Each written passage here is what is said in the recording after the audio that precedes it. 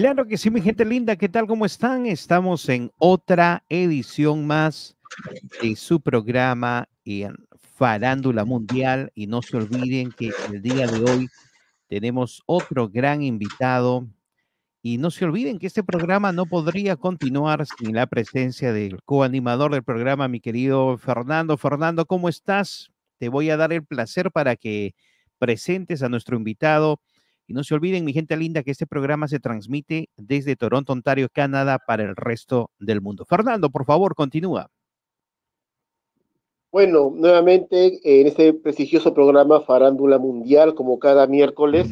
Eh, bueno, saludos a toda la teleaudiencia, a toda la gente que nos escuchan, que nos ven a través de Frequency Fight FM desde Perú.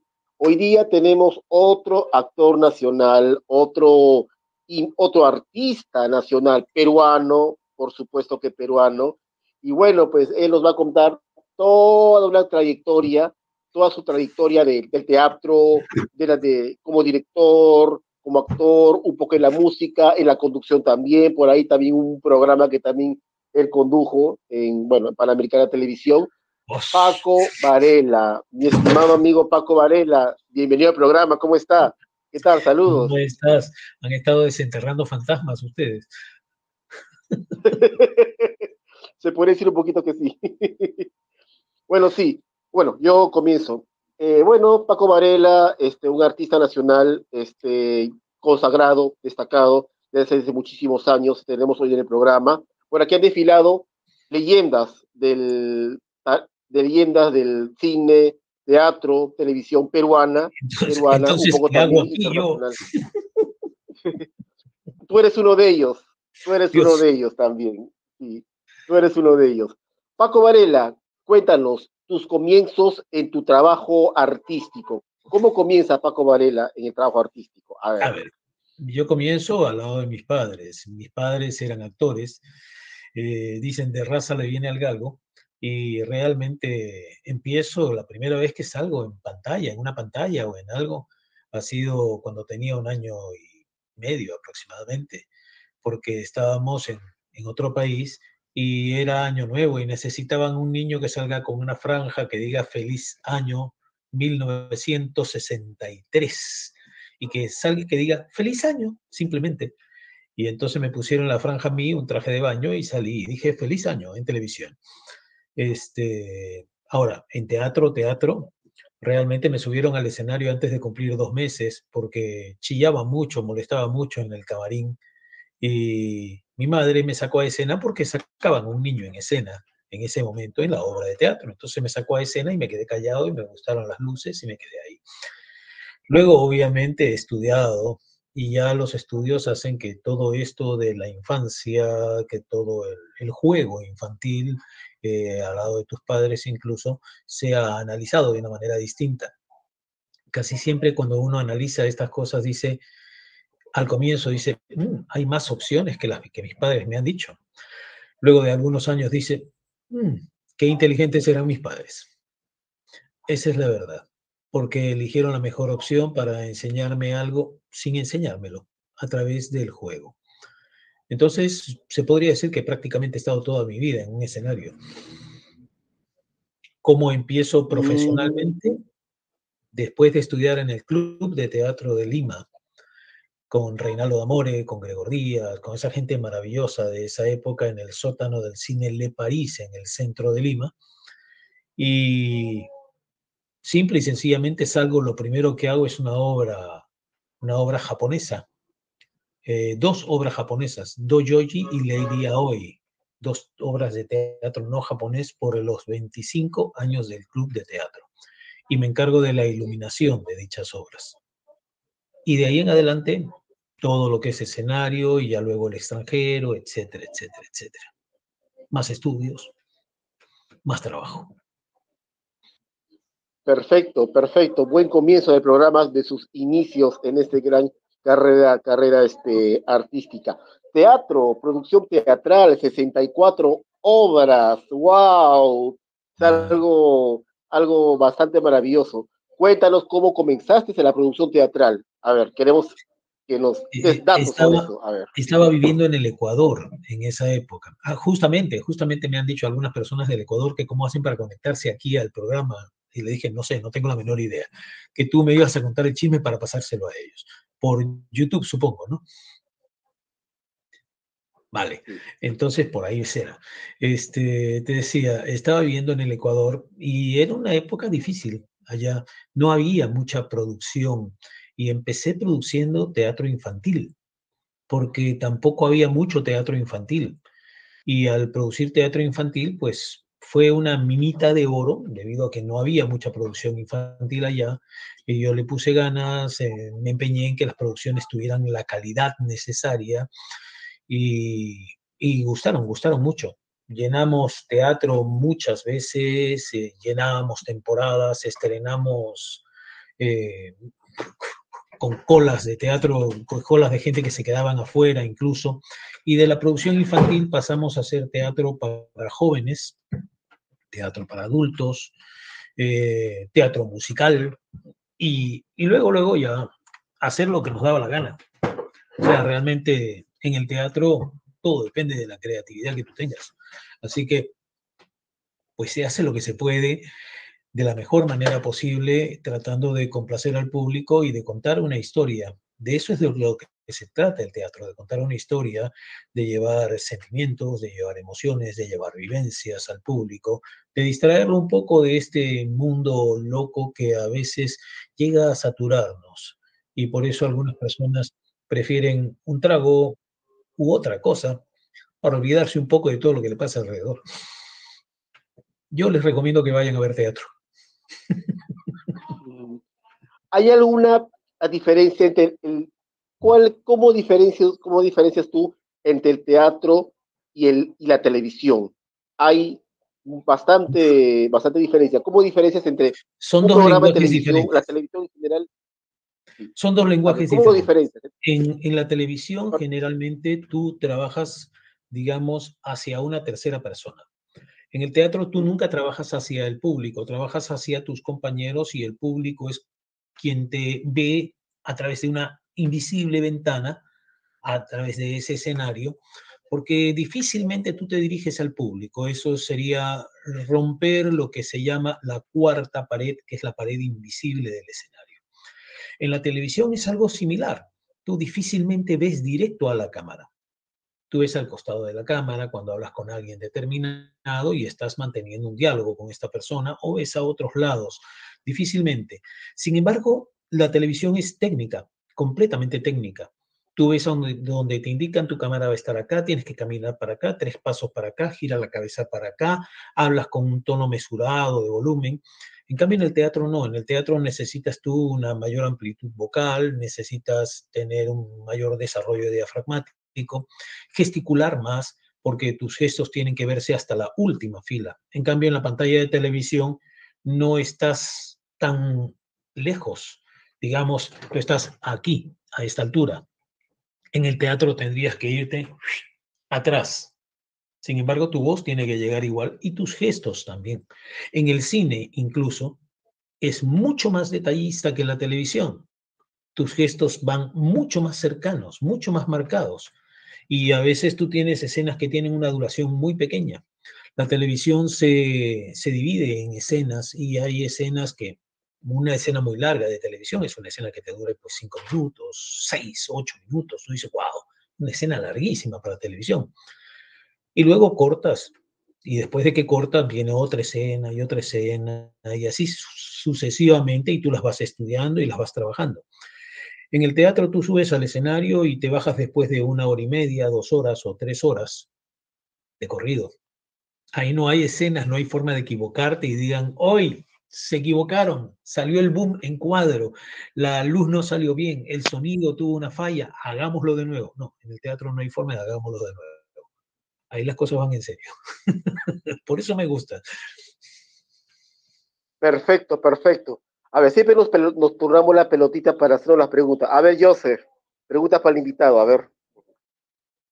Claro que sí, estamos eh, súper emocionados de tener tremenda celebridad Eh, por favor. Eh, por favor, no me hagan creer una cosa así. No, no, no, no. Yo soy una persona normal. No, si usted está en este programa. Es normal en algunas cosas, pero normal. No, ah, le cuento que si usted está en este programa es porque Fernando hizo la tarea y cuando Fernando eh, trae a alguien al programa es porque tenemos mucho respeto hacia esa persona. muchos de ellos nos enseñan, nos dan anécdotas y muchos de ellos hasta el público, el público reclama, siempre nos han, eh, nos han preguntado por, por actores que han hecho historia, por actores que están de moda, por actores que de repente de, la, han hecho una, de repente una vida profesional, otros de repente vida de farándula, los, los que, como dicen, la buena y mala publicidad al final es publicidad. Eh, los que están siempre en, en, el ojo de, de, de como dicen, de, la aguja, en los periódicos, los que hacen, eh, pero en el caso de usted, cuéntenos, queremos conocer un poquito de esos inicios, esos comienzos. Siempre uno dice que desde, desde que uno es niño, a veces da unos pequeños pasitos, eh, o como dicen, eh, o gatea uno, de más o menos orientarse a lo que le va a gustar. Cuando usted fue de repente niño o en su pequeña juventud, de repente usted ya tuvo orientaciones para ver qué era lo que le gustaba. ¿Nos podría comentar un poquito de eso? Y, Realmente, realmente, eh, yo vengo de una familia que está dedicada, ha estado dedicada al arte desde, desde siempre. Mis padres, mis abuelos, mis bisabuelos, mis tatarabuelos, es decir, han estado, eh, digamos, de alguna manera eh, metidos completamente en lo que es la literatura, la música, la poesía, el teatro, eh, el canto, etc. Entonces es algo que yo vi desde, desde la cuna.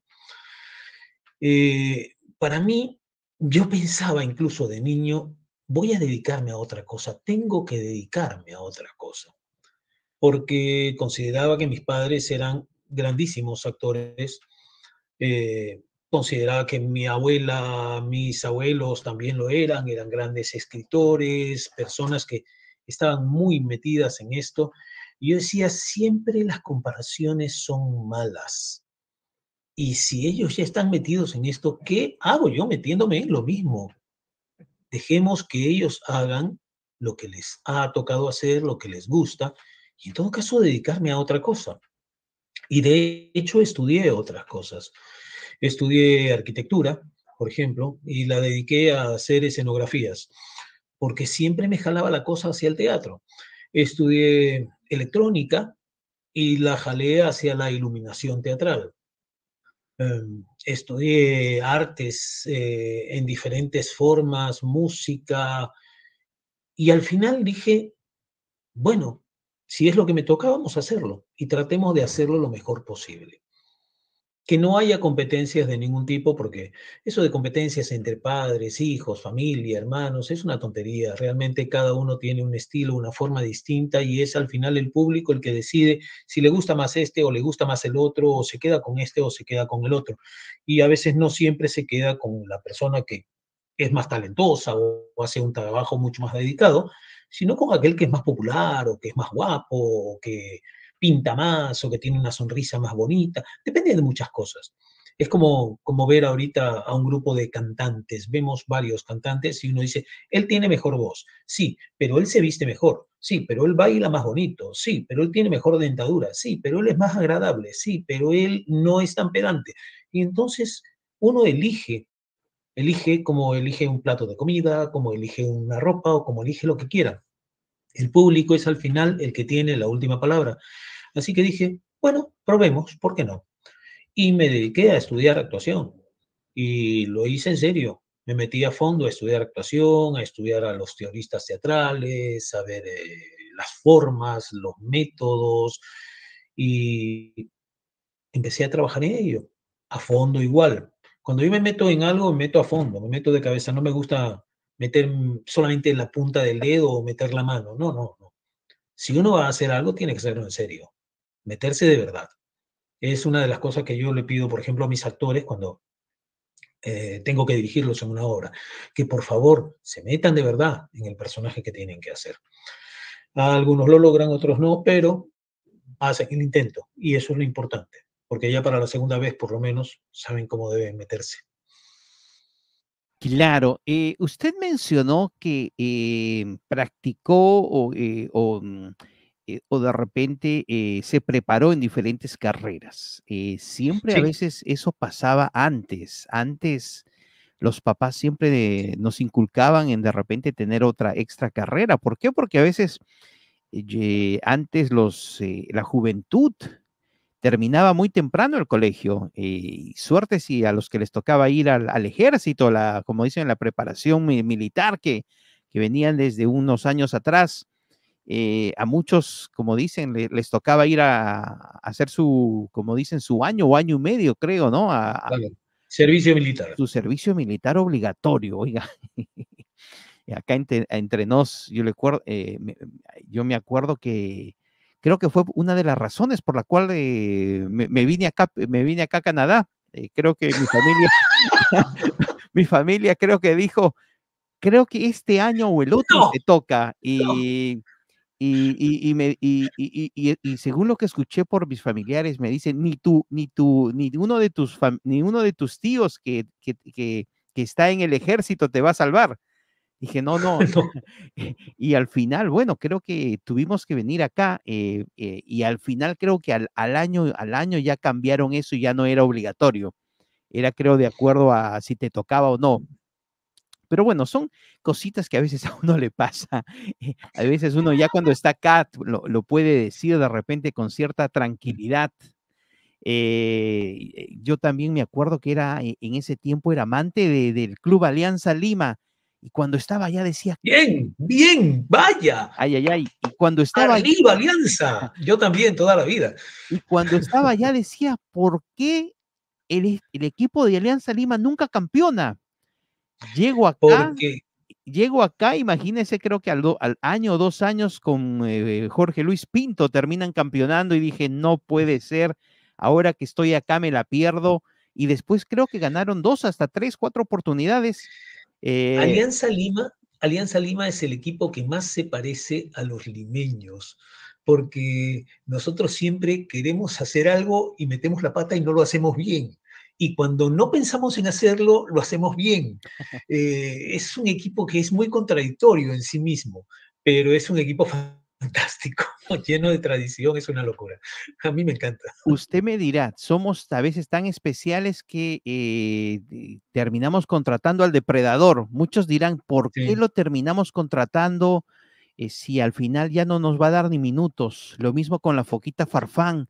Eh, muchos dijeron, dijeron que hasta le compraron un, un lugar para poner, ponerle gasolina a sus carros carísimos que tenía y, la Foquita Farfán, a ver, se dedicó más, a hacer los podcasts y hablar de la Yajaira, menos que de, menos que, como dicen, de, de, sudar la camiseta por Alianza Lima, pero al final eh, uno vive, eh, muere, a veces pierde el sueño, se enoja solamente mirando estos partidos. Así más o menos como, como nuestra selección nacional.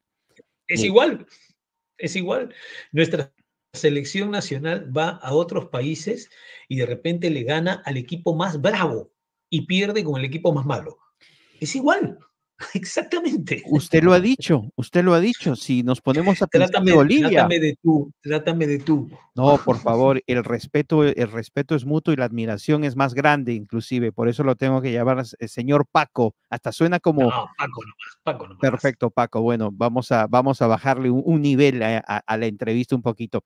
Pero eh, eh, quedé sorprendido con lo de Bolivia. No puede ser, no puede ser creíble que Bolivia estaba en el último lugar y repentinamente termina ganando dos partidos y al final nosotros que pudimos haberle eh, ganado a Ecuador, eh, de repente para empezar a movernos, perdemos. Eh, Bolivia le gana a Bolivia le gana a Venezuela y Bolivia le gana a aquí más no me acuerdo, le gana a creo que fue a Chile, creo, ¿no? bueno, pero también han cambiado y han puesto su estadio a cuatro mil y pico de metros de altura. Ahí lógico, cualquiera pierde.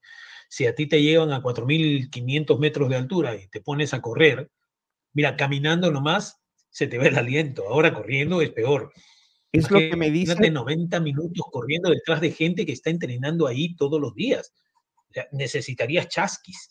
Claro, eh, eh, mi querido Paco, es lo que me dice Fernando, que dice que cada vez que sube, sube la, como dicen, eh, la, esa, como dicen, esa inclinación para, para agarrar su, su, micro, dice que se queda sin, se queda sin, sin aliento y sin aire. Y, y, y, y, así me dice, así me dice y me ruega y me, menciona varias veces que quiere de entrarse a las canteras menores de, de su equipo, eh, de su equipo de mil amores, el Sporting Cristal, imagínese.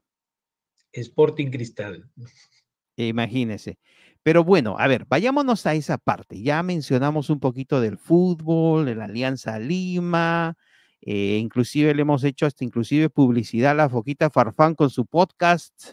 Sí. Em, eh, y, tantas y tantas cositas. Ya, que hasta ya, Jaira hemos hablado. Hasta, oiga, le cuento acá entre nos, hay artistas que a veces vienen y, por más que sean, digamos, eh, extra de repente populares en, países, vienen acá y no la pegan. Y ese, ese fue el caso de nuestra querida Yajaira. Acá no, no, eh, por más, como dicen, la belleza puede ser de repente algo eh, superficial, pero viene una Daniela Darcourt y termina llenando el lugar. Eh, y, pero bueno, vayámonos, ya, ya me, estoy, me estoy saliendo fuera de, de, la entrevista, pero a veces son... Albert, Albert Einstein precisamente fue el que descubrió el porqué. Todo es relativo, la ley de la relatividad. Nada es en todos, en todos lugares igual. Claro, claro, gracias por hacerme eh, entender. Pero bueno, vayámonos a esa parte que al final me terminé desorientando. Uno cuando es joven, eh, siempre los papás le orientan a que trate de educarse lo, más, lo mejor posible. Eh, antes no había muchas redes sociales, antes de repente las personas, de repente como nosotros, los jóvenes, siempre buscaban la mejor forma de, ayudarse mutuamente, de repente del querer superarse de mil y muchas formas, las amistades eran más duraderas de repente. Eh, si tú tenías un amigo, sabías que era un amigo que en realidad lo podías confiar en él porque mm, eh, tu amigo no te decía, mira, no puedo verte hoy día y te mandaba un mensaje. No, no, allá era, todo era eh, personal, te daban la mano, si le caías a alguien bien, le caías bien. Y todo pasó siempre por cierta, cierta forma, cierta eh, eh, cierto proceso. En el caso suyo, que usted dijo que quería eh, hacer algo totalmente diferente. Usted, cuando empezó a hacer electricidad, cuando empezó a hacer las diferentes otras cosas, yo me imagino que las hacía súper bien, pero llega un momento en el cual usted mencionó a pesar que usted podría haber vivido de repente muy bien como electricista o como de repente con otra profesión, eh, usted en, de repente en cierta forma tenía de repente un poquito de, de, de repente temor en tratar de competir con sus papás, con sus familiares. No, no, no. No, temor no, temor no, nunca lo vi como competencia realmente, todo lo contrario he trabajado con él muchas veces en escena y para mí era un honor trabajar con él porque cada vez que me subía a escena y estaba él, aprendía mucho, como aprendo mucho de aquellos actores que tienen más experiencia, que, que, han sido mucho mayores que yo y a los que les agradezco haber estado en escena a mi lado en algún momento determinado. Eh, no, competencia de ninguna manera.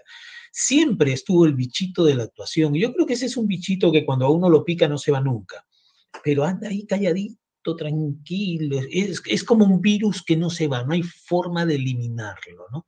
Y de repente dice, ya, ahora sí, lánzate, lánzate. Y hay gente que se lanza y gente que no. Eh, la vida les da caminos diferentes a las personas. De los alumnos que estuvimos en la primera promoción de ese club de teatro hace más de 50 años de esto, soy el único que queda. Y no porque se hayan muerto, sino porque el resto se dedicó a otras cosas. Una pregunta. Y había gente que tenía mucho talento. Claro, sí me imagino. Una pregunta dentro de su carrera, em, dentro de su, a ver, de su carrera, ¿usted eh, en algún momento de repente quiso seguir los pasos de Cristóbal Colón y de repente conquistar Quito, Ecuador o Guayaquil? Porque eh, varias veces estuvo por ahí. Sí, y estuve ahí años, pero no, no fue por Cristóbal Colón, fue porque precisamente mis padres viajaron, yo todavía no era mayor de edad, viajaron al Ecuador y yo viajé con ellos eh, y, y seguí estudiando y seguí haciendo cosas y empecé a trabajar allá y en la práctica empecé a hacer cosas de electrónica, cosas de escenografía, cosas de actuación. Luego seguí estudios, viajé a otros lugares, regresé y entonces era como un punto de regreso, ¿no? En ese momento Lima estaba un poco fastidiada los cambios de moneda, la crisis económica era terrible en esa época, tuvimos unos periodos de gobierno, el, bueno, el periodo que tuvo Alan, este, eh, hablando de Alan, pues hoy día parece que se ha muerto Fujimori y todo el mundo dice que Fujimori está muerto y que Alan sigue vivo, pero todavía nadie sabe eso. Lo cierto es que el periodo de Alan fue terrible, el periodo del terrorismo acá, el periodo que tuvo Belaunde también fue terrible, el país se hundió, la moneda se hundió, se cambió del sol al INTI, del INTI al sol nuevamente, es decir, había cambios de moneda brutales, la gente quería salir como fuera del Perú. Y yo estaba en el extranjero trabajando, estudiando, haciendo cosas, y entonces lo que decía es, lo que debo hacer es prepararme bien para que cuando regrese pueda de alguna manera entregar algo, ayudar a alguien o enseñar lo que estoy aprendiendo fuera y lo que estoy haciendo. Y me dediqué a eso, y me dediqué a trabajar y entonces empecé a hacer producciones, dirigir, escribir obras de teatro, escribir música, escribir varias cosas. Tengo escritas una gran cantidad de obras, bueno, para mi gusto, para otros de repente no. Este, he dirigido una buena cantidad de obras eh, y en el extranjero hice una carrera como director, como actor, como productor dentro de, de lo que era Guayaquil, en, en buena cuenta. Y de ahí yo me regreso a Lima cuando el Ecuador empieza a caerse la moneda y a tener problemas económicos también. Me regreso a Lima pensando, ya es hora. Justamente se había estabilizado un poco el Perú y dije, bueno, vamos a ver qué pasa. Pero a pesar de que se había estabilizado, de todas maneras el teatro todavía estaba costando mucho trabajo. Nuestro público limeño es un público que si uno le dice, vamos a comer, siempre tiene dinero. Vamos a chupar, siempre tiene dinero. Vamos a una fiesta, siempre tiene dinero. Vamos al teatro, estoy sin plata, hermano. Mm, a pesar de la gran cultura teatral que tenía el Perú en una época, hoy en día se puede decir que mucha de esa cultura teatral pues o se ha perdido o se ha extraviado o se fue a otro lado. Y entonces se está formando una nueva cultura teatral Felizmente hay gente interesada, felizmente hay gente que gusta del teatro y estamos haciendo esfuerzos porque precisamente esas personas y otras personas vuelvan a hacer de Lima y del Perú en general una nueva ciudad de teatro como lo fue antes. Estábamos mirando que a usted también le gustó de lo que era la conducción. Cuénteme, eh, ¿usted tuvo la oportunidad de, estar con Wilfrido Vargas? En ese momento estaba de moda la canción El baile del mono en Ecuador. El baile del perrito. El baile del perrito también. todos bailaban, el mono, el perrito, todos bailaban, sí. Eh, eh, fue para un año nuevo. Yo justamente estaba trabajando con Ecuavisa en algunas cosas y estaba trabajando en algunas telenovelas y me llamaron y me dijeron, Paco, queremos que animes el especial de Año Nuevo. Era más o menos mediados de diciembre y le dije, ok, vamos a animarlo. Va a venir Wilfrido Vargas con su orquesta. Yo no bailo salsa, lo confieso, soy muy malo para la música tropical y dije, ok, Wilfrido es una persona que respeto mucho porque lo conocí y lo conozco. Y hicimos este especial de Año Nuevo, incluso eh, gritamos 10, 9, 8 los segundos que faltaban para Año Nuevo, nos abrazamos, bailamos, fue un especial muy bonito, pero fue muy gracioso también, porque animé este especial de Año Nuevo en el Ecuador y cuando vengo a Lima estoy trabajando para un programa de televisión que se llamaba por primera vez que era muy parecido a la parodia española, pero que incluía concursos de cantantes. Y el animador, de un momento a otro, deja el programa. Y entonces me colgaron a mí la animación. Me la encargaron y yo dije, bueno, vamos. y todas las semanas venía gente invitada. Y de repente me anuncia a mí la productora general de este programa, va a venir Wilfrido Vargas la próxima semana. Yo dije, no puede ser, va a estar Wilfrido en Lima, hace años que no lo veo, que no sé cuánto. Cuando de repente llega el día y Wilfrido no llegaba y no llegaba y no llegaba. Y entra la animadora con una cara desencajada y me dice, tu amigo está ahí sentado en el camarín, la orquesta está toda en su hotel y él dice que están muy cansados, que no sabe qué hacer. Y yo le dije, deténmelo hasta el comercial, que yo voy y hablo con él. Y subí corriendo a camarín, apenas vino el comercial, le dije, Wilfrido, ¿te acuerdas de mí? Ecuador, Año Nuevo, etcétera. Oye, hermano, ¿qué hacemos? Le dije, aunque sea a capela, cantas. Y bajó al set y cantó a capela. Oh, wow. Claro. O sea que de algo sirve. Los gajes de, claro, los gajes del oficio. A veces uno no sabe que a veces muchos artistas también son humanos y a veces eh, por ciertas razones del destino, a veces, eh, como dicen, el, el, show tiene que continuar. Eh, claro, nos ha pasado un montón de veces, un, un haber, em, un, tantos artistas que a veces vienen y, esto les cambia, el, les afecta el clima, eh, muchos se terminan enfermando. Y, además, y además hay, una cosa, hay una cosa que nadie tiene en cuenta, es el cansancio. Un viaje de un país a otro, el cambio de clima, el cambio de alimentación, el cambio de horarios, todo eso representa una fatiga en la persona que está viajando. Y muchas veces uno pretende que la gente sea de fierro o de acero y no es así, pues todos somos de carne y hueso. Y mal o bien, la carne duele y el hueso también. Claro, eh, pero cuénteme, ¿cómo, cómo vivió eh, esos momentos de conducción? A veces en la televisión eso hay que vivirlo, como dicen, plenamente, porque hoy puedes estar y de acá dos semanas te cancelan el programa. Así es. Hoy puedes estar en un canal y después a las dos semanas te quedas sin trabajo y te llama la competencia. O si tienes la mala suerte y firmas un contrato de cinco años y la televisora no te quiere en ningún otro lugar, te veta. Te congela. Te congela por cinco años y ahí si tú lo rompes. Le pasó a. Además, si te, si te, congelan, te fregaste porque no puedes trabajar para nadie más, lo que significa que van a hacer que el público se olvide de ti. Exacto. Cuénteme, ¿cómo vivió esos momentos? ¿Usted en algún momento pensó que iba a dejar Ecuador? Eh, porque Ecuador en un momento también eh, e, era un lugar muy, eh, un lugar muy estable, mucha gente tenía muy buenos comentarios, mucha gente decía, me voy a Ecuador por el clima, por la, de repente, la caballerosidad de, la gente, porque allá te tratan bien también. Es un lugar que si te quieren y te respetan, la gente es muy caballerosa eh, y son muy tradicionalistas. y, cuénteme, ¿cómo, eh, ¿cómo recibió, como dicen, esa, eh, ese baño de agua fría cuando, cuando se da con la de repente sorpresa o noticia que ya tiene que cambiarse de país y, emigrar a otro? Yo no, no pienso que sea baño de agua fría. Las cosas se dan por algo siempre y el hecho de cambiarse o migrar casi siempre es para bien, nunca es para mal. ¿Por qué? Porque uno busca nuevas fuentes, nuevas oportunidades en otros lugares. Eh, la época que viví en el Ecuador para mí fue mágica, fue maravillosa, disfruté cada minuto de lo que vivía allá.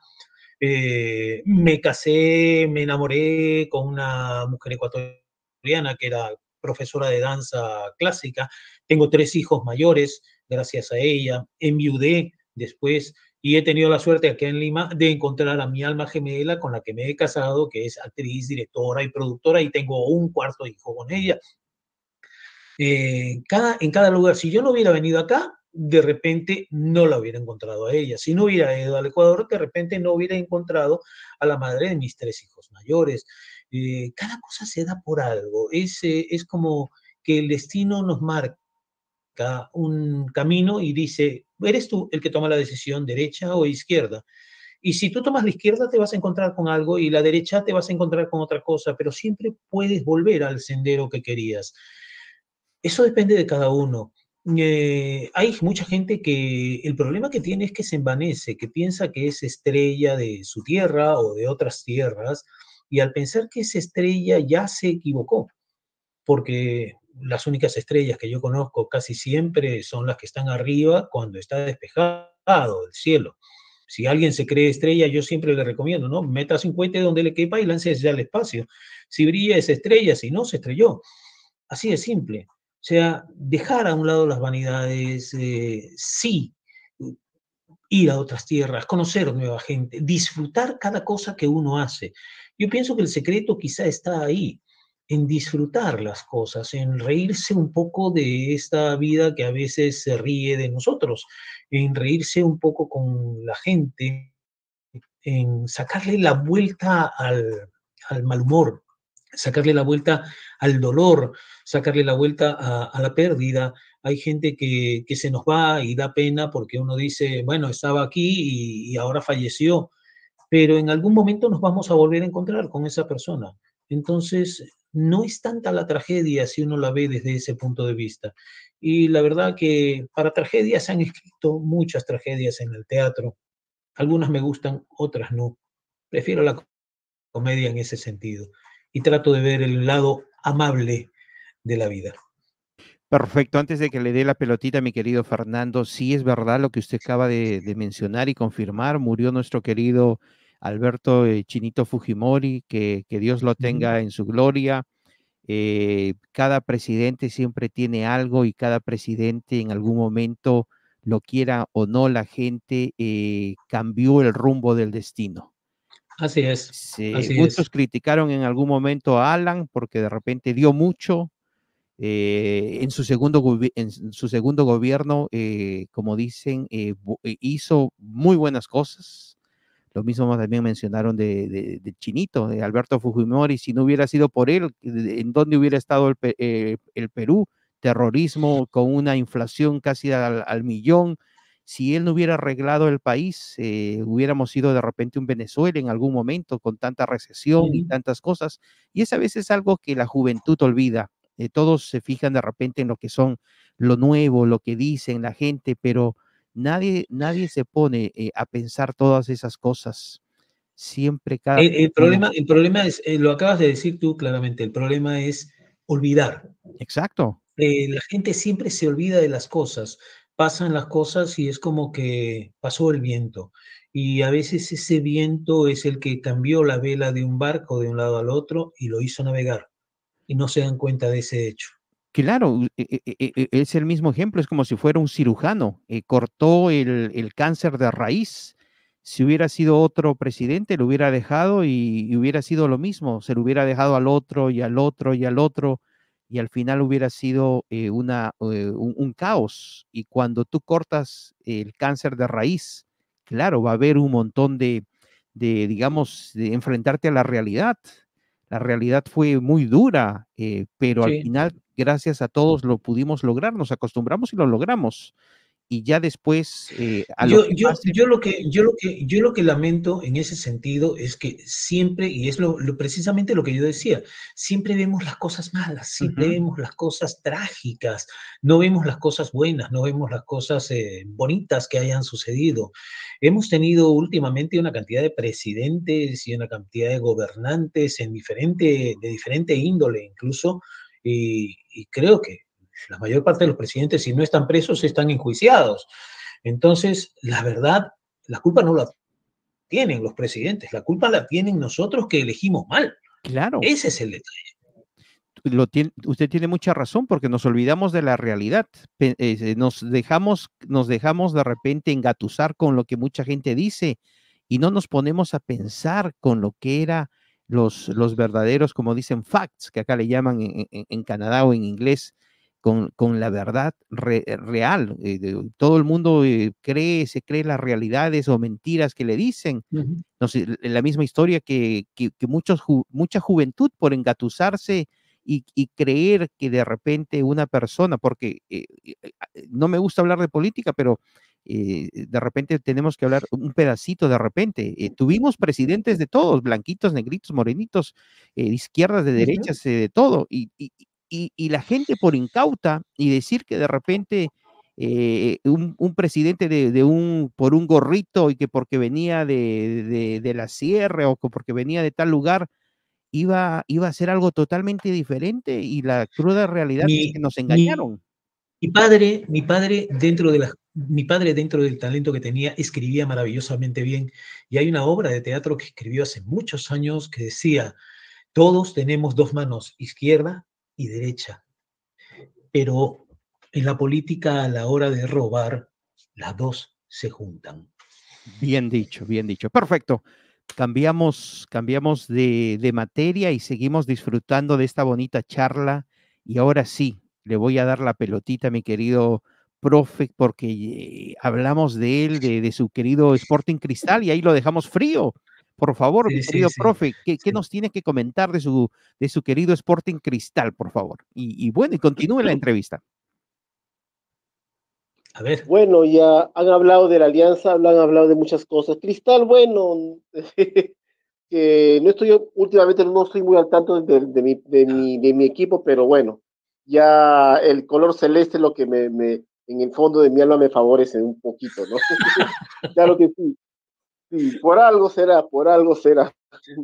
A ver, toda, toda esa historia musical, yo recuerdo el programa por primera vez en Panamericana Televisión, Evelyn Ortiz, creo que era la, la era coanimadora, era la que hacía los, las parodias musicales. Evelyn Ortiz, Morena, este, ay, ¿cómo te llamas? Miguel Ángel eh, Parra, Miguel Ángel Parra. las tengo también.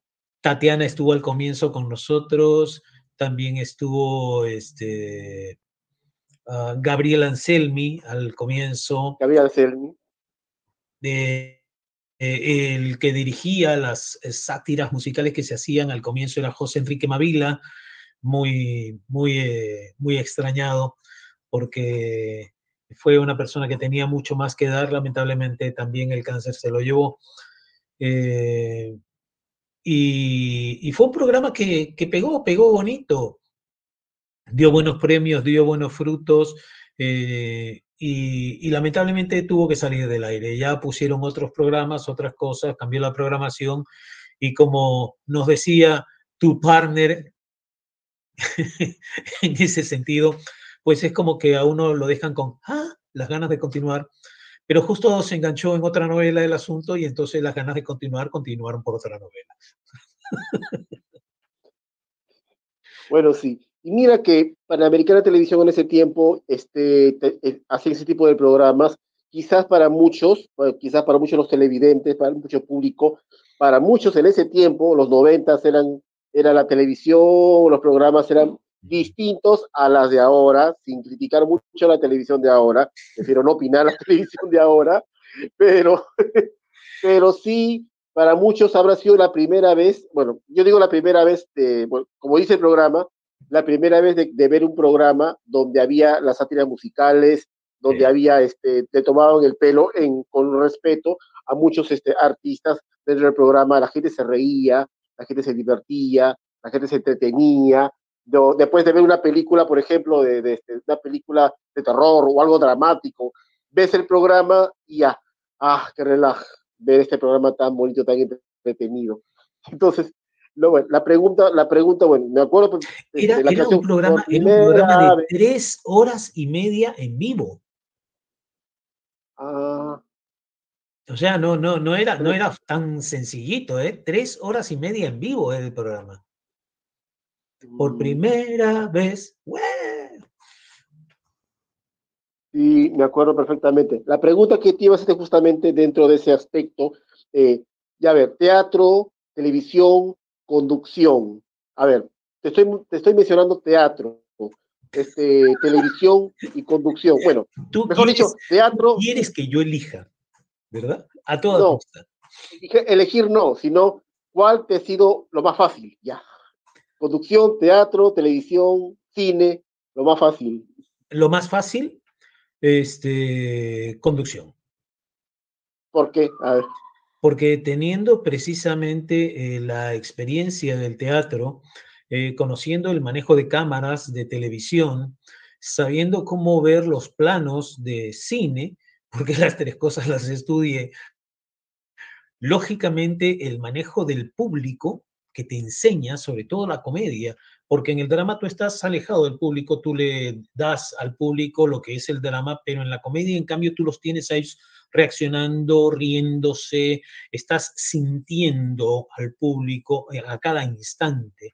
Entonces, con todo ese manejo y el manejo del público que había en el set en ese entonces, teníamos en el set, no me acuerdo, eran como 200 o 300 personas, ¿no? En cada programa porque además yo, yo los animaba a ellos media hora antes, 40 minutos antes iba a calentar al público, dale, dale, dale, para que estén bien calentitos para empezar el programa.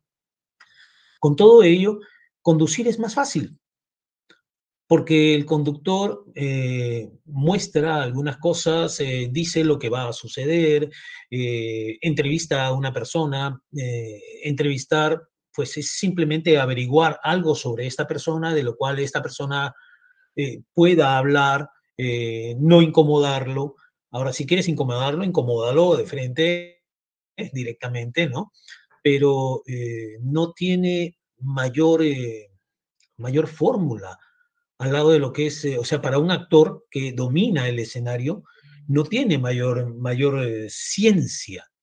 Si una persona llega de frente a conducir un programa y no sabe dónde está parado, entonces sí, pero ya cuando tú has pisado un escenario y has hecho de este escenario algo tuyo, y de hecho para mí, yo lo he dicho mil veces, eh, cuando yo subo a un escenario es como que entro al baño de mi casa. Es decir, tengo la misma confianza en el escenario. No le tengo miedo al escenario, no le tengo miedo al público para nada. Si les gusta la obra que estamos haciendo, gracias a Dios que les gusta, porque para eso lo hacemos. Si no les gusta, bueno, lo lamento, no somos monedita de oro. Ah, siempre habrá alguien a quien no le guste. Tratamos de hacer las cosas lo mejor posible precisamente para ese público. Pero ya teniendo esa experiencia, eh, teniendo esa cancha, como, como decimos acá, conducir es más fácil. E, es como si en este momento invirtiéramos los papeles y yo me pusiera a, entrevistarte a ti y te hiciera preguntas a ti, te aseguro que te haría preguntas y, conduciría el programa más tranquilo. Por favor, no por favor, no venga con esas ideas, por favor, por favor, que será para que el programa termine mañana. No. pero en todo caso podríamos hacer un programa nuevo. Claro, oiga, por ah. favor, por favor, e, e, en esa sí, mil disculpas, mi querido profesor, mil disculpas, pero por favor, le tomo la palabra cuando usted quiera. Yo encantado, encantado. Nos reunimos después de este programa y hablamos de lo que quieran. Perfecto, perfecto. Sí, claro que sí. Siempre es bienvenido toda propuesta, porque este, este programa, como muchos programas, no solamente aparte de las entrevistas, también son las buenas propuestas, ¿no? De eso se trata el programa, de que el invitado también se sienta este, cómodo, alegre, para que también ah, exista también propuestas y, en general, pues, ¿no? Pasarla bien. Muy bien, ahora hablemos de una telenovela. Teletaller Panamericana Televisión que uso, este, ya, ya se imagina qué telenovela voy a Teletaller, Humberto Polar, Roxana Efio, sí. sí ¿Cuál es? Muy bien. Canela, sí, a Ya. si voy a mencionar a Encio Vena, Encio Viena, el actor argentino que hizo la primera oh. versión de una telenovela, entonces ya se, ya, ya se imagina qué telenovela en esa primera voy a versión, mencionar. La música era Las cosas simples de la vida. De la vida. Años 70, cuando se estrenó la telenovela Nino, y, luego la hicimos, hicimos una versión diferente realmente de Nino. Eh, cuéntenos, cuéntenos. Porque Nino hablaba solamente de lo que era el barrio, las cosas sencillas, simples, eh, de, este, de este hombre que de alguna manera trataba de salir adelante y estaba enamorado de la chica linda del barrio, pero que era medio cabeza hueca. En cambio, la chica que, que no podía caminar bien era la que estaba enamorada de él y al final se quedan juntos como pareja. Pero acá se metieron dos novelas en una prácticamente, porque se hizo por un lado Nino, la versión eh, original de Nino se la trasladó a nuestra época y por otro lado se escribió una novela nueva y esa novela compaginaba con la novela de Nino y los personajes se entremezclaban. Y en esta novela nueva había una redacción, había un diario, había persecuciones policiales, había una serie de cosas. Y dentro de la redacción teníamos como jefe de redacción a un Hernán Romero, con la voz esa imponente que tiene Hernán, que justamente hemos estado hablando de ensayar una obra, vamos a ver qué pasa con eso. Eh, este, y estaba Antonio Arrué, estaba Marcelo Rivera, estaba uh, tanta gente que estaba en ese momento dentro de la redacción. Uh, en fin, había un montón de gente y yo tenía que ser el periodista este que andaba siempre corriendo detrás de la noticia. Entonces, eh, todavía no tenía una edad suficiente para eso, y entonces me pintaban unas canas de blanco que parecía el, papá de los locos Adams, de los Monsters, ¿no? Y me dejé el bigote que parecía que fuera una brocha. A mí me sale la barba y el bigote muy, muy grande. Eh, sí, sí, si no me afeito, ahora me afeité porque tenía que salir en esta entrevista, pero llevaba sin afeitarme cinco semanas y ya parecía Jack Black, así con esas barbas así gigantescas, ¿no? y tengo toda la barba canosa además. Eh, salgo a la calle y la gente piensa que soy Papá Noel. Lo cierto es que ese bigote tipo mostacho que tenía y las canas acá y, lentes bien, bien profundos para hacer este periodista. Y andaba siempre corriendo detrás de la noticia, de un lado al otro, dejaba abandonada a su, a su familia prácticamente. Eh, es una novela interesante, interesante. Y se suponía que nosotros eh, teníamos la redacción en una revista, Teníamos computadoras en la revista, era muy gracioso porque eran esas computadoras antiguas. Eh, y yo les decía, chicos, ¿quién sabe cómo se maneja esta porquería? Por favor, pónganme una hoja en blanco para escribir algo, porque se supone que tengo que escribir. Y me ponía a escribir cosas que estaban pasando en el guion. Y entonces todo el mundo se reía luego de las cosas que yo escribía y me decían, ¿por qué no te pones a escribir cosas de teatro y qué sé yo? Y mira tú, seguí escribiendo teatro, ¿no? Lo cierto es que la pasamos muy entretenido, fue una novela muy... Para los actores siempre es entretenido. Eh, tenemos una ventaja y eso es algo que yo digo siempre. Hay gente que trabaja qué sé yo, como ingeniero, y porque el padre era ingeniero, el abuelo era ingeniero, y entonces el tipo tiene que ser ingeniero, y no le gusta la ingeniería.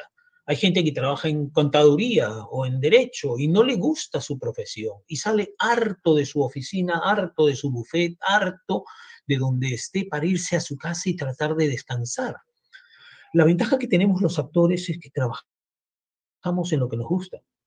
Entonces disfrutamos lo que hacemos. Es como un cantante. Un cantante es aquel que canta desde la mañana hasta la noche y vive cantando y que vive feliz cantando y se va y se presenta en alguna parte y canta y es feliz. Y lo digo porque yo canto también. Y canta y es feliz cantando. Y no va a decir, estoy haciendo algo que no me gusta. No, porque le gusta. Es como yo le digo a muchos taxistas, cuando me subo a un taxi, le digo generalmente, ustedes tienen una oficina rodante. Qué maravilla, porque conversan con un montón de gente eh, pueden compartir con gente que no conocen, conocer de ellos muchas cosas, aprender de ellos muchas cosas, claro, siempre y cuando no les toque un pasajero que haya tomado un litro de vinagre, y, además pueden parar cuando les dé la gana a tomarse una botella de agua o ir a un baño, porque baños hay en todas las ciudades, y no tienen ningún problema. Hay gente que está sentada en un escritorio frente a una pared y no le queda otra cosa. Entonces, en ese sentido, ser actor es una bendición. Mm, muy buena, muy buena tu, muy buena su, su, sus buenas ideas que usted está planteando. Hablemos un poquito de los programas cómicos. Bueno, no, este, ¿cómo, qué opinión usted tiene de, las, los programas cómicos en el Perú? ¿Cómo ha evolucionado? Bueno, no, ya sé que usted nunca participó en un programa cómico, pero si hablamos, si hablamos de la televisión en Nunca me invitaron tampoco, ¿ah? Nunca me invitaron tampoco, ¿ah? claro, pero hay que hablar un poquito de, de, cada, de cada tema de la televisión peruana. ¿Cómo su opinión de, los programas cómicos? ¿Cómo cree que ha evolucionado desde estar falario hasta, hasta los programas de ahora? Yo pienso que no han evolucionado mucho. Los chistes casi siempre son parecidos. Todos terminan corriendo detrás de alguien o pegándole a alguien, pero no ha habido una evolución. Y si bien es cierto, eh, no es culpa de los que participan en los programas cómicos, porque tenemos comediantes extraordinarios en el Perú, creo que sí de los guiones. Creo que hay fallas en los guiones, que les falta un poco más de cuerpo, darles un poco más de brillo para que esos puedan lucirse. Eh, se piensa siempre que la gente está acostumbrada a algo y hay que seguirle dar, dando eso.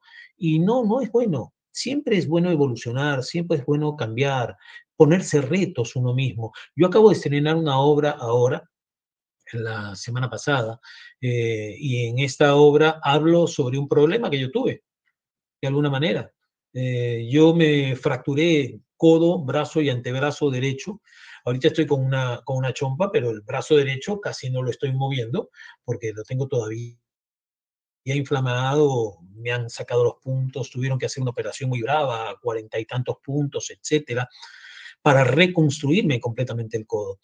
Y, y yo estoy hablando sobre las locuras que yo vi dentro del hospital, porque había cosas de locos dentro del hospital. Y yo decía, esto es para hacer una comedia, es que hay que hacer una comedia con esto. Y hay mucha gente que me dice, ¿cómo de una cosa tan fuerte como eh, el hospital, tú le das la vuelta y lo conviertes en comedia? Así como hay escenas en las cuales de una u otra forma tú tienes cosas de reflexión, tienes cosas de drama y vuelves a la comedia, y vuelves a la comedia, y vuelves a la comedia.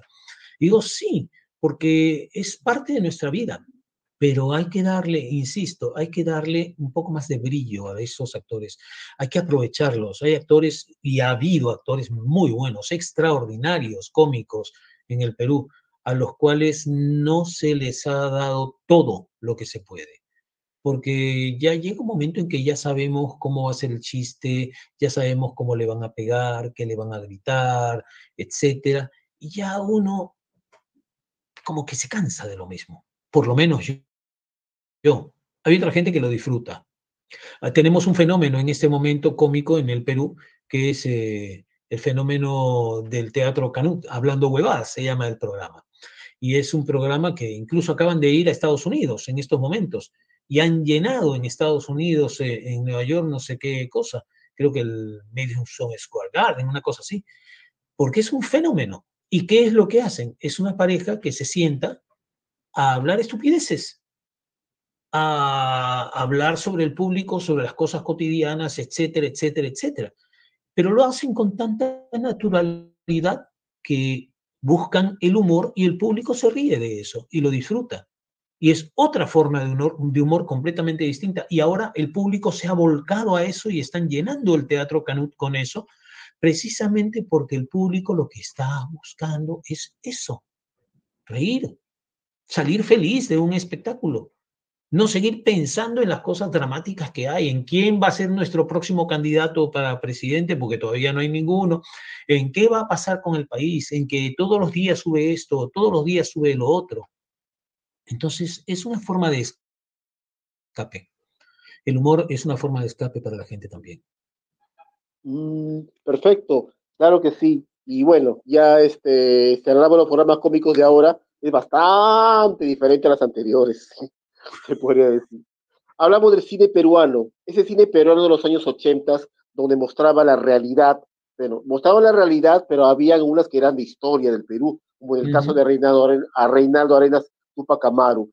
¿Cuál es la diferencia, en su parecer, entre el cine peruano de antes, ese cine peruano realista, y las modernas y las actuales? Vuelvo a lo mismo, están buscando la comedia. Si te das cuenta que las últimas películas todas son cómicas prácticamente. Se está buscando precisamente eso. ¿Por qué? Porque es el público el que lo está pidiendo. De alguna forma, el público te está pidiendo, dame algo que me alimente, que me entretenga, que me haga sonreír, que yo llegue a mi casa y le diga a la gente, qué bacán, me he matado de risa con esto. Ya no quiero seguir llorando. Tengo mil motivos para llorar en el día, quiero tener un motivo para sonreír. Por eso se ha volcado ahora a la comedia. Y está bien, está bien. Y es muy probable que dentro de poco tiempo salga otra película. Creo que ya están anunciando una película incluso que es dentro del cine peruano y es probable que salgan otras más de ese, de ese corte o que salgan otras históricas. ¿Por qué no? ¿Por qué no? El drama no es malo, pero creo que de alguna manera la gente se ha cansado de dramas. Mm, claro, no, eso es algo, algo que comúnmente suele suceder siempre, ¿no? Acá en el Perú tanto el cine como la televisión, como el teatro, este, lo bueno que sigue, lo bueno que continúa, lo bueno que continúa con, quizás con diversos aspectos, pero sí, es algo, algo maravilloso. Y bueno, ya un, poquito entrando a la telenovela Nino, 1996, de tu personaje que era hacer de un periodista, todo, etcétera, etcétera, etcétera. Y el papel de un personaje en una telenovela, eh, el papel de un personaje en una telenovela, eh, de un personaje, ya sea de cualquier papel. Eh, siempre uno dice que uno tiene que acostumbrarse a la personalidad, a la edad, tiene que, tiene que interpretar de acuerdo, a eh, aprender a llorar de verdad, a reír de verdad, a ser de villano, todo eso, un poquito cuéntanos ese detalle, cómo uno tiene que aprender, aprender a vivir el personaje. A ver hablamos de las telenovelas. Vamos de nuevo, la base de todo está en el teatro. Sin mm. embargo, cuando uno hace telenovelas o hace series de televisión o hace cualquier tipo de cosa televisiva, tiene que ajustarse al lenguaje de las cámaras. Porque en lugar de tener al público enfrente, tú tienes al público generalmente en tres costados un costado izquierdo, un costado derecho y, una parte frontal. Incluso en algunas oportunidades con una grúa tienes a otro colgado en la parte de arriba. Y entonces tú tienes que saber cuál es tu cámara, hacia dónde te diriges tú cuando vas a hablar, cuando tienes otro actor al costado, hacia dónde va a hablar él, en qué momento van a moverse, hacia dónde es la posición de movimiento, etc. Eh, pero dentro de eso, dentro de la técnica televisiva, el trabajo del personaje es un trabajo del cual se habla ya desde la época de Denis Diderot en lo que es eh, el teatro. Y cuando hablamos de Diderot estamos remontándonos a 1700 y pico.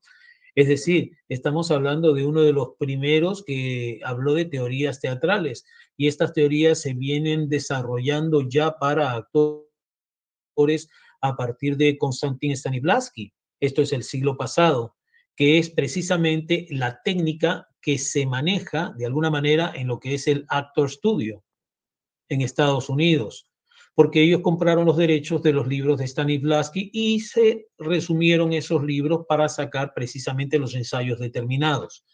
Es el manual de Stanislavski, de alguna, eh, de alguna manera el sistema de Stanislavski se convirtió en el manual de, del Actor Studio y en el manual de los actores norteamericanos.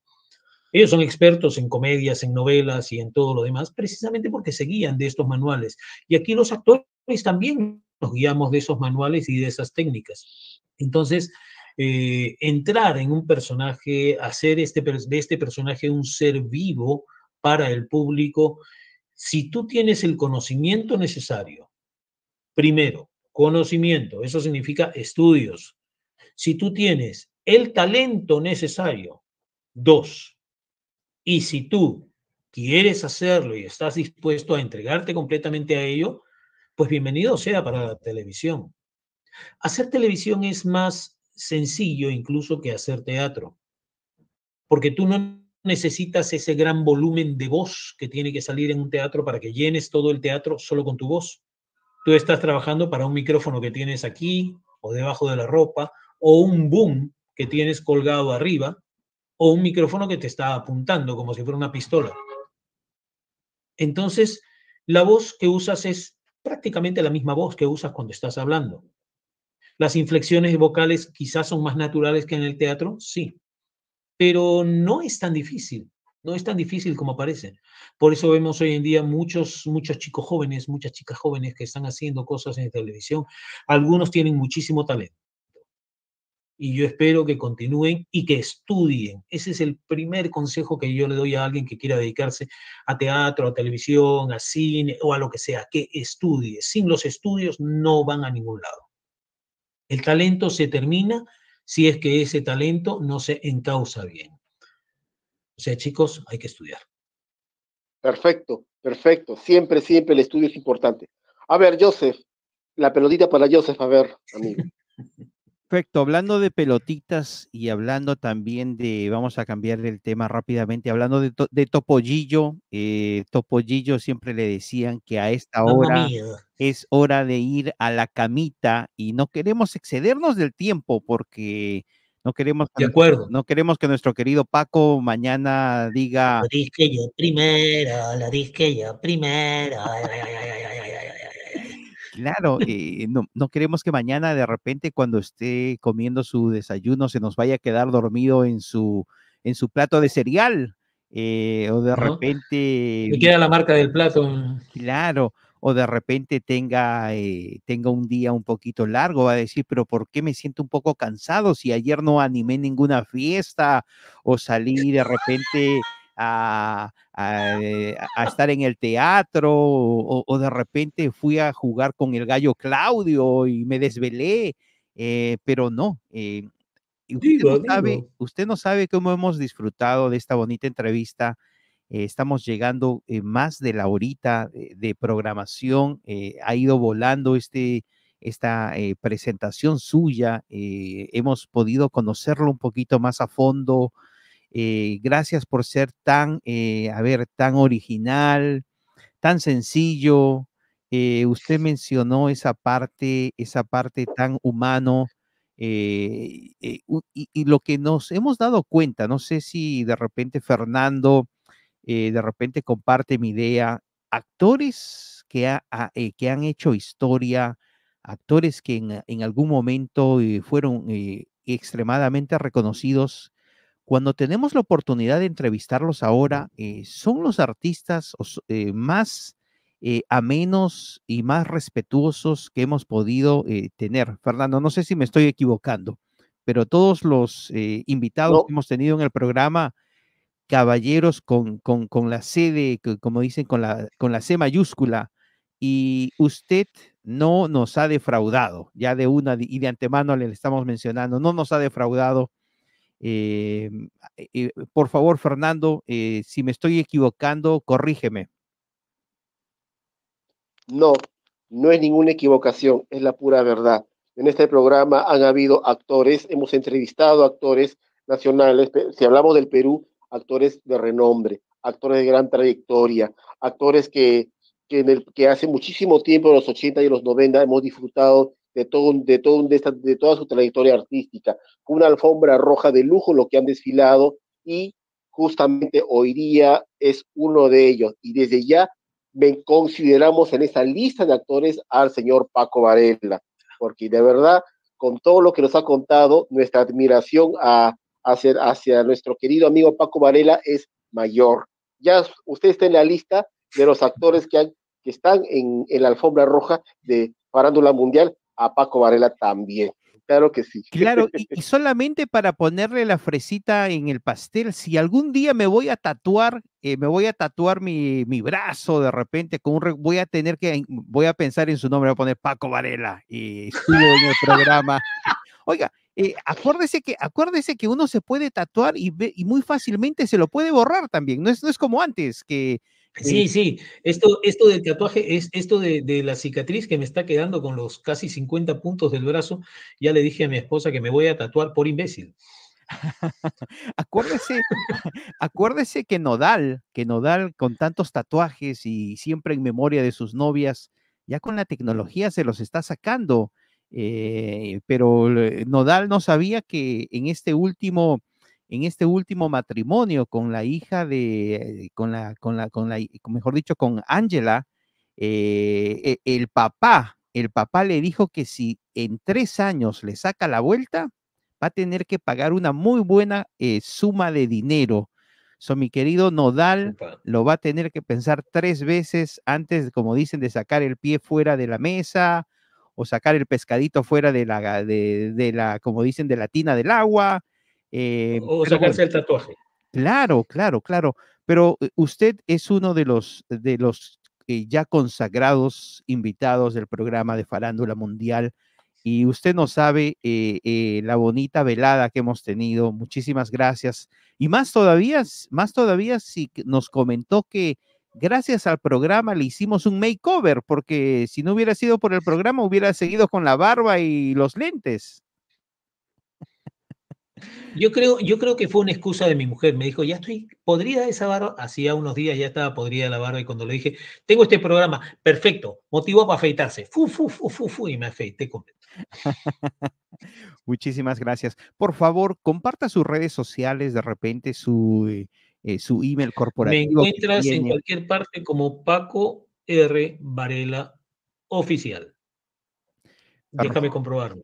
Paco Varela Oficial. Perfecto. Facebook, Twitter, Paco Varela Oficial. Me encuentras en cualquier parte así. Y ahora me encuentras en el teatro. Tú ya fuiste al teatro, ¿verdad, Fernando? Eh, voy a ir, voy a ir. Voy a ah, no ha sido sinvergüenza. Me encuentras en el teatro donde acabamos de estrenar precisamente una obra que se llama Hasta las patas. Estamos en el Centro Cultural Café de San Isidro y haciendo funciones los sábados y domingos. Así que ahí me van a tener. Perfecto, le deseamos lo mejor de lo mejor y muchísimas gracias. Un saludo a su esposa, porque creo que la estábamos escuchando que le estaba haciendo el Memorex, diciéndole de creo de la. Sí, sí, ella siempre, ella siempre me hace la memoria aquí. Un saludo. Ella es. Claro que sí, un saludo para ella y un saludo para toda la gente linda que lo quiere y lo respeta. Muchísimas gracias. De mi parte, yo me voy a despedir. Por favor, mi querido Fernando, haz lo propio y no te olvides de, de como dicen, de, de, seguir echándole las porras a nuestro querido Paco, por favor, porque como dicen en la televisión, hay que frotar mucho para la próxima, eh, más fácil, eh, más fácil, eh, como dicen, nos da el, el segundo sí. bueno, agradeciéndote, este Paco Varela, a un gran actor, Rosan, fue un conversatorio. El, Farándula Mundial, el, el programa pasado también hubo, bueno, un director de cine cusqueño que también habló toda una cátedra. Acá también nuestro querido amigo Paco Varela. Gracias por esta oportunidad que has aceptado. Gracias también por, por, por brindarnos ese, ese gran, este, esas informaciones tan maravillosas de tu trabajo artístico en el teatro, los programas, del cine, etcétera, etcétera. De verdad. Hasta el próximo miércoles en Farándula Mundial. Me despido de ti, de Joseph. Muchísimas gracias de parte de Fernando Córdoba desde Lima, Perú. Sí. Perfecto, mi querido eh, Paco, palabritas finales para que te despidas y muchas, muchísimas, muchísimas gracias. Gracias a ustedes, Joseph, Fernando, gracias por pensar en mí, por esos inmerecidos elogios que me han hecho. Todos somos seres humanos, todos tenemos capacidades y todos tratamos de hacer las cosas.